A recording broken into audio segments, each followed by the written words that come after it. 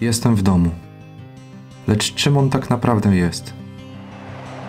Czy to tylko mury z drzwiami, oknami i dachem, które zapewniają nam poczucie bezpieczeństwa? Nasz prywatny bunkier z historiami naszej rodziny, naszego życia, który daje nam chwilę wytchnienia od problemów?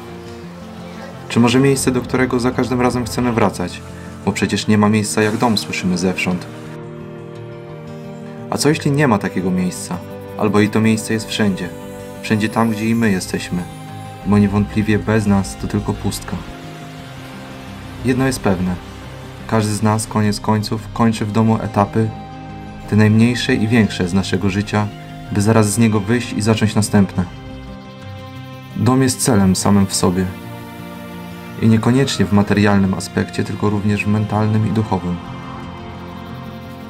Dążmy do niego tak szczęśliwie, jak tylko możemy, by koniec końców zaznać spokoju, odetchnąć i z wydychanym haustem powietrza uśmiechnąć się i powiedzieć: Jestem w domu.